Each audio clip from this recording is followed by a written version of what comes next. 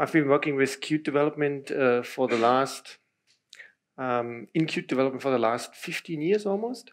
Um, have done pretty much everything from um, embedded device development, Qtopia, Qt Embedded, um, made the entire Nokia uh, travel, um, and then with one small gap, ended up in Qt development here in Berlin. And um, today, I'd like to talk about Qt CoAP. Um, three parts to this.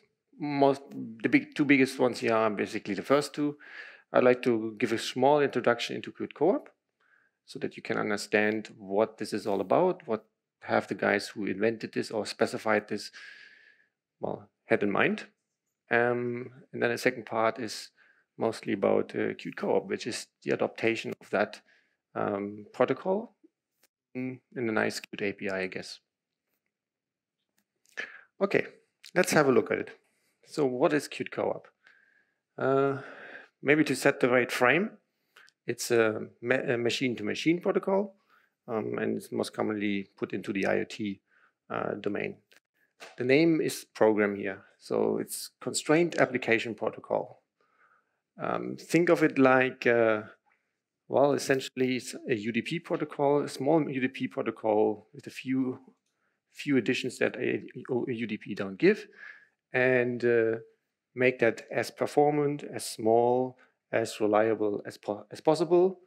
Um, and you see from the stack there, it's pretty much uh, a nice uh, setup on top of CoAP. Um, in the bottom, there's of course the actual message definition, which we'll go into in a few minutes. And um, on top of that, you basically create uh, packages, requests, responses, um, pretty much like you are used to from HTTP. In fact, in fact, um, if you've done any kind of development with HTTP, you probably find this fairly uh, fairly familiar to yourself. Um, so it's an asynchronous protocol, and it's uh, it's based on UDP, so IP, and it has a couple of uh, features on top that increase the reliability um, in terms of well, it's meant to be run on very, very low powered networks, potentially high packet loss, etc. Um, and there's a few things on top of uh, that UDP does, doesn't do, but doesn't quite go to the TCP level. That's not what we want to do anyway. Um, so there's a few things in the protocol that make that a bit more reliable working with it. If you're interested in this, uh, the main spec for this is RFC 752. 7252. Um, yeah. Maybe to give you an, an, idea, when we're talking about constrained application protocol, um, I would expect uh, you can definitely implement uh, the stack for this uh, within about mm, 100 kilobyte code space and maybe uh, 10 kilobyte RAM. So you can go fairly far down. The smallest package is about 4 bytes, and that's the smallest one you can have. Um, CoAP builds on top of REST, especially for the uh, for the resource um, uh, part, um, the discovery part, and uh, like any other URL that you might know from from HTTP, it basically has its own very similar structure to address something on a machine. So you, for comparison, you have my um, client that wants to collect data from, for instance, a sensor and that sensor essentially is available under um, a certain host IP, uh, a port, and then basically a path. Um, and uh, the main ports here uh, are the ones mentioned there. The first one is the one for um, uh, plain CoAP. The second one is 5684 is for if you want to have anything, anything to do, to do with security. So what could, how could this look like? Very much like a uh, like a HTTP request, you do a GET request to the IP, and then you say whatever it is that you want to do. Um, the resource that you see there is actually a specific one. And it actually highlights nicely also a particular aspect of uh, CoAP. That is actually the uh, multicast address, multicast address. So you can actually have CoAP endpoints register themselves in a multicast group, and pretty much with that, everybody who's registered in that multicast group will answer you uh, whatever he will find another well-known slash core resource. What is well-known slash core? Well, that's sort of by convention the point that you talk to if you want to figure out what that device offers in terms of resources. So in, in a way, what you do there is a service discovery with, a, with an additional resource discovery. So resource discovery, what is on the, on the, on the client or on the endpoint, and the multicast part is everybody, please tell me what you can do. And then messages come back to you. Um, another nice aspect about CoAP is actually its extendability. There's quite a few RFCs out there. Um, maybe let's start on the right, far right there. So there's obviously 752, uh, 7252, which is basically defining service discovery, resource discovery, the basic principles of the protocol. Um, and to and basically the message message protocol is going to be described. Um, and then there's a couple of things on top that add a few things that you might need in a, in a, in a more sane environment because you have certain restrictions. So let's go uh, go into some of those. Uh, obviously, multicast group communication is one of those.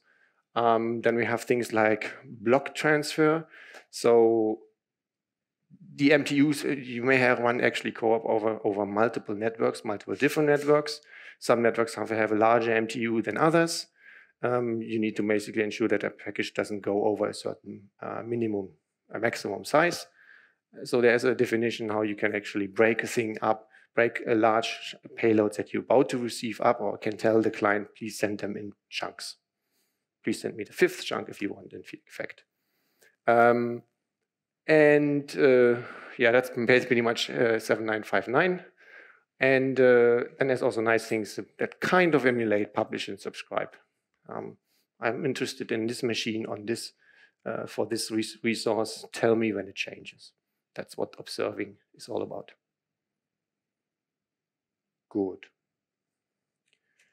Um, let's dive into this.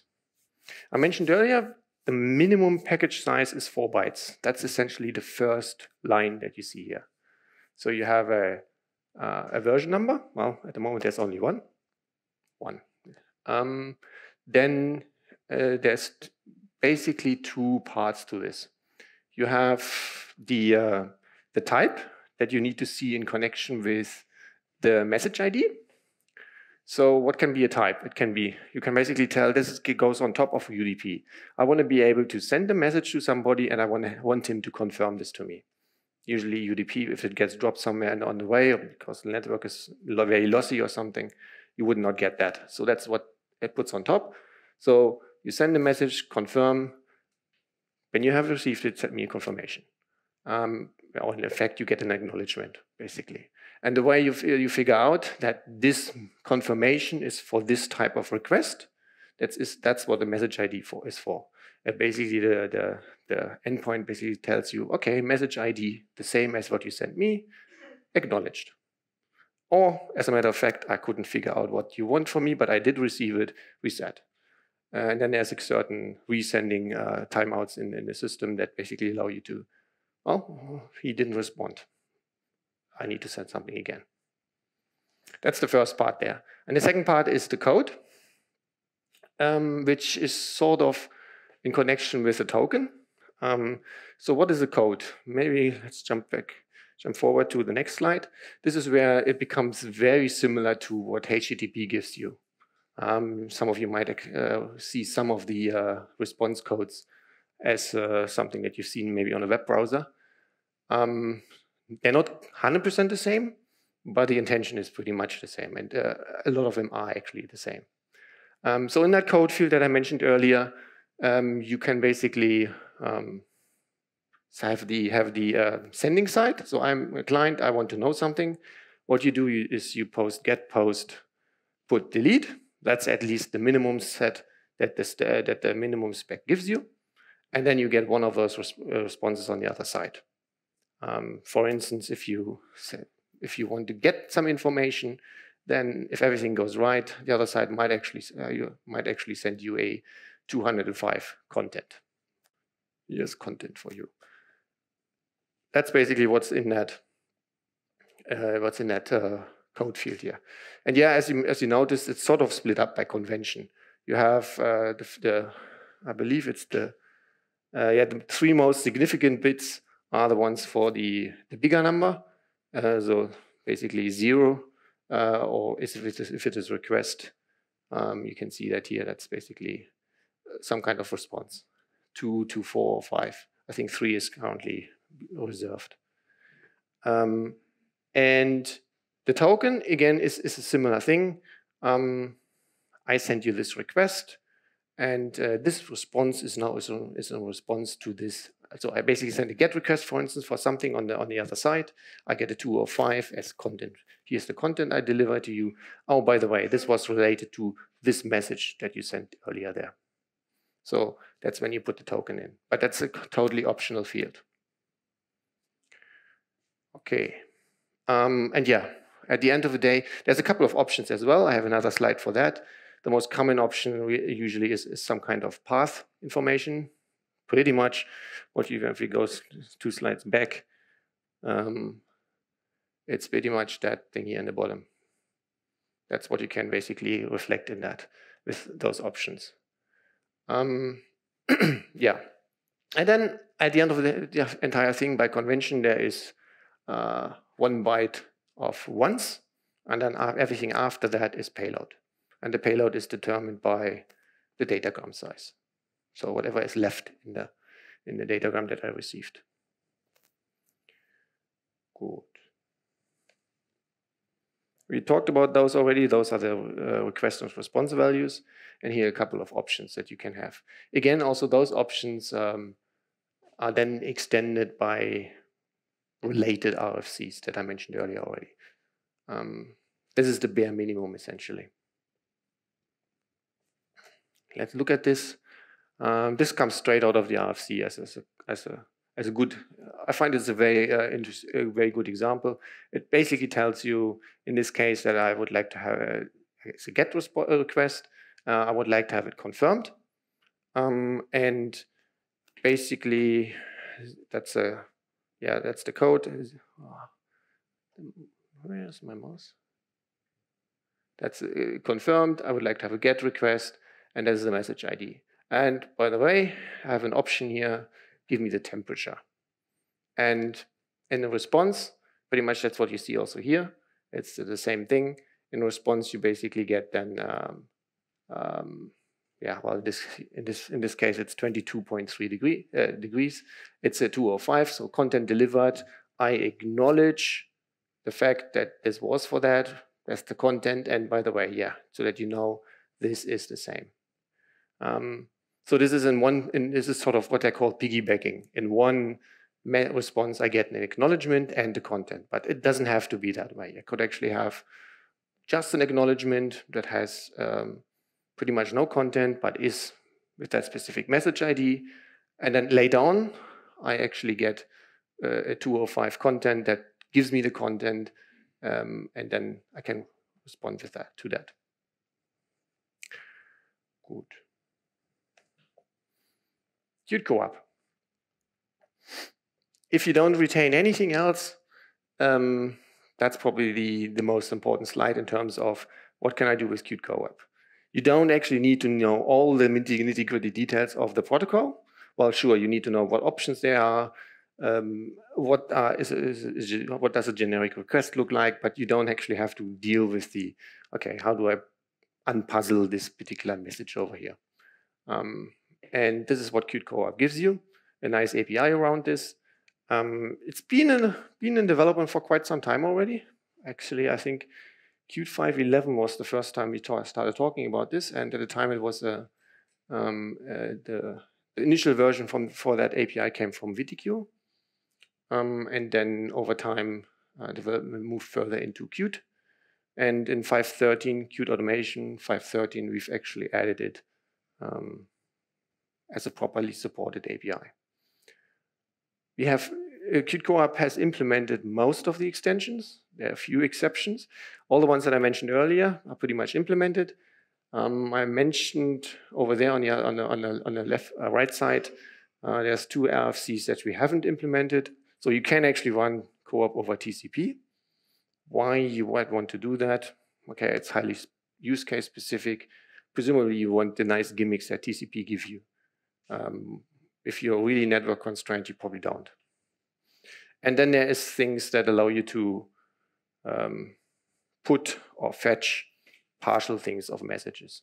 So, so far with GET, you get everything. And if that takes a couple of megabytes that have to come in blocks, then that's fairly um, inefficient when I know I only need, I don't know, byte 10 to 22 or something.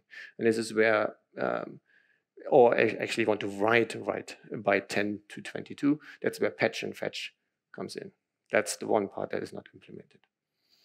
Um, the central point, entry point is Q CoAP client. We'll jump into that in a, in a, few in a minute or so. And it provides all the main access that you have that you require.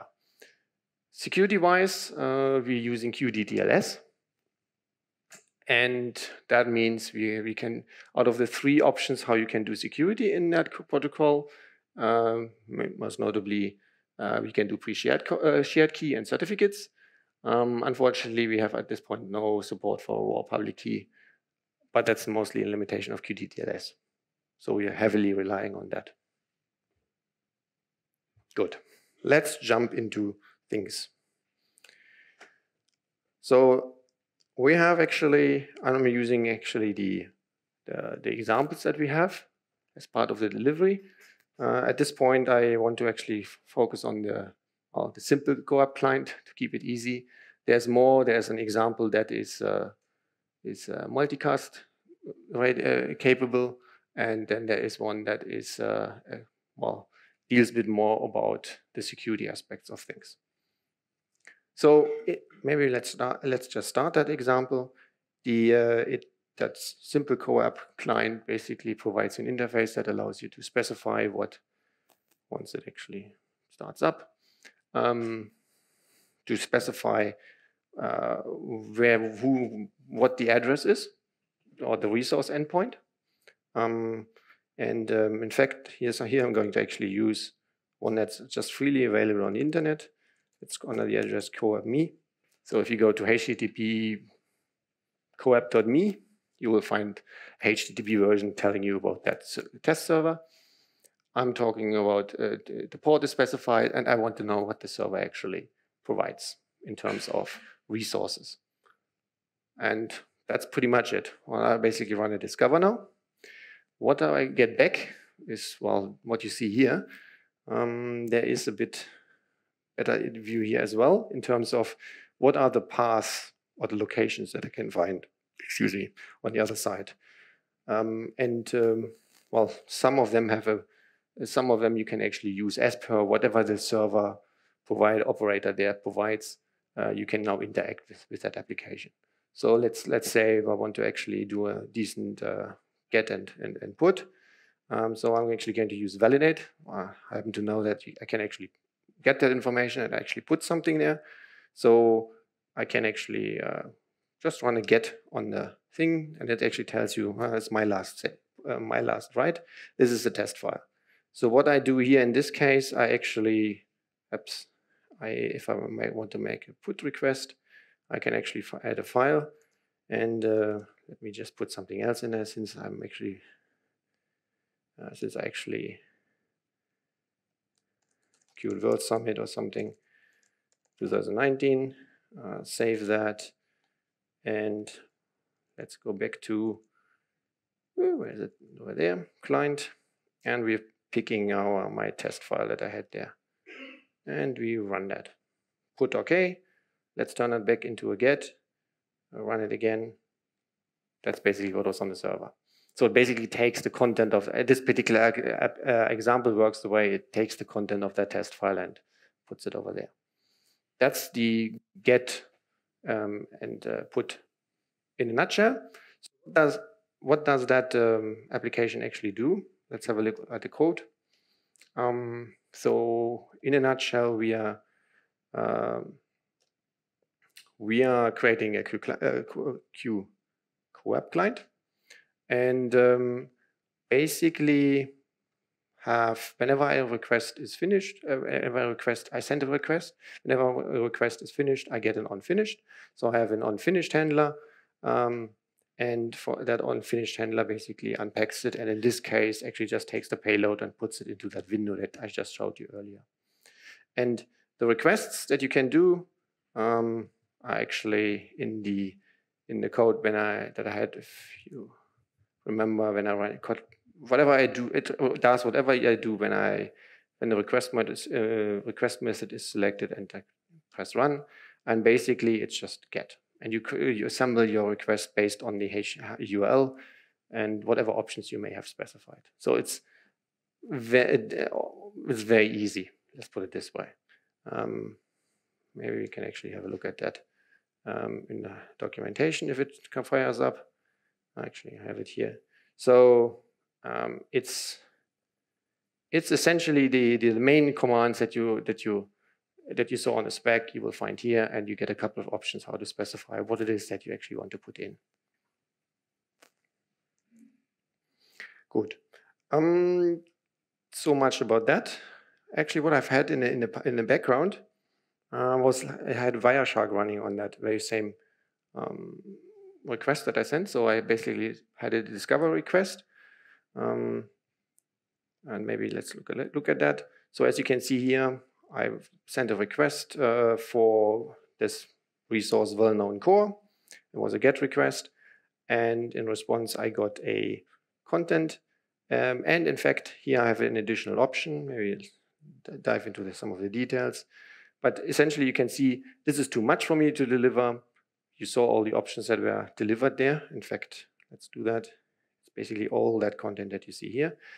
Um, this is basically what REST service, how you do REST service discovery. That protocol there is uh, pretty much another another RFC on the web. I don't have the number in, the, in, my head, but it essentially describes all the available resources that I can find. That I then had a nice list up here. And well, it tells me there's too much. I need to uh, split this up into different blocks. And in this case here, you basically see um, uh, it specifies, okay, here's some information. That's the block, and there's more coming. And if you know, if you now go go through the information, you can see, oh well, I basically know now know there is more to come, and it uh, basically fires the next GET request with an, with an updated index, which gives me a response, and that's how basically that information is is uh, is collected. And in the end here, we have my validate example that I showed earlier. Um, you basically, well, we have a GET request, we get a content for validate, and then I put something there, which is essentially confirming to me that it was changed. So it's error, it is a code 204 here in this case. And um, for, for, for verification purposes, I actually wanted a, I rewrite it back again. So in other words, it gives you, I, I can always recommend, um, actually it's not specific to COA, but if you do connecti connectivity kind of related jobs, um, I quite often also use that, for instance, to debug Bluetooth connections. Wireshark is an excellent tool. And if you don't uh, don't find your protocol handler or you ha handled by Wireshark, by all means, please just add it to Wireshark and the, the community is uh, accepting those. Works great for just about every network protocol. And it may actually make the difference between you figuring out what it is that you do uh, and what you or what your problem might be. Good. I think that's that's it in a nutshell. Um, we have one more thing. Um, there's two things that we have in Qt actually. There's Qt CoAP and there's Qt MQTT. As the, uh, as with all, all things, they all have their their their their, their advantages and disadvantages. In this case, here I've just tried to sort of put them side by side. Why might I want to choose one or the other? Um, maybe without going into every single point there, the best way of, of looking at it is that I have a one-to-one -one communication always with CoAP, whereas MQTT, you have basically a broker in the middle that can then do fancy things, I would call syntactical service sugar in a sense, um, that for some use cases you actually need. whereas CoAP is, is very bare metal in a sense. And uh, both you can basically use both APIs. They're both part of the uh, industry automation um, offering that we have. And uh,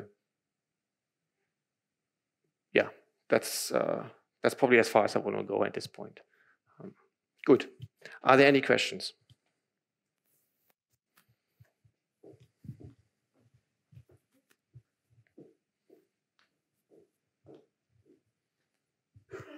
I've seen in the API docs there's an observe mechanism. Oh yeah, actually, um, forgot about that. Is it possible, for example, uh, if I have a temperature sensor, mm -hmm. to uh, um, connect to uh, to it, so it will give me a UDP message for each uh, value change, or do I have to request to have to poll it? Okay, so no, so that's basically what it's all about, to avoid polling. Actually, I wanted to run an example for that. Um, I actually have a Docker image running uh, because uh, I'm not aware of any any CoAP server on the web that actually has that observe feature. So I had a um, CoAP server, uh, had a um, server on the Docker image here on localhost. Um, and if I now basically I basically change the host address, let's do another discovery. Uh, you can see here there's a, quite a few resources on this. In fact, it gives you a nice description of what some of these resources might do. Um, and if, if you look at the first one, observe a resource which changes every five seconds on ops. So let's just do that. Uh, let's just observe ops. And this one actually gives you every five seconds an update because on the server, on the endpoint, the value changes and every five seconds it determines. Well, in this case, it's actually a timer could do that every second, but uh, by definition, that service definition is five seconds. And it just basically tells me what it uh, what it does. That's it's then driven uh, from the server.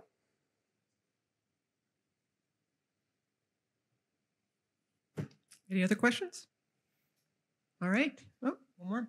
Yeah, just to, uh, to continue on that question, the, the response that you get is just half of The of the, the transaction, basically. The so response is. Correct. So you have one get packet and you have n response packets.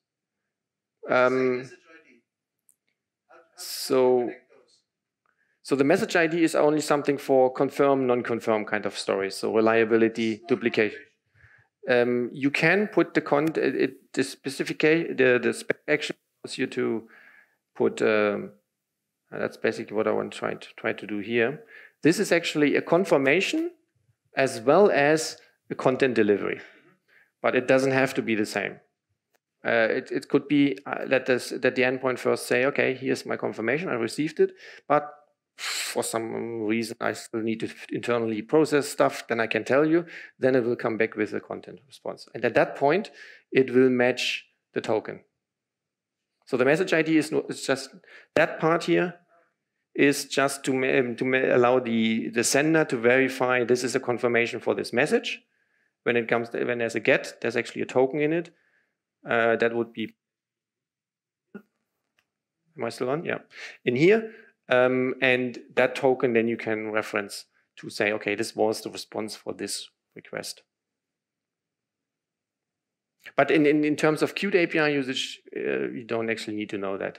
You basically, it handles that transparently for you. You send a request, pretty much like if you're familiar with uh, Qt Network Manager, you send up a uh, you set up a request, you get a reply object, and that reply object then will come back with finished or whatever the error code is.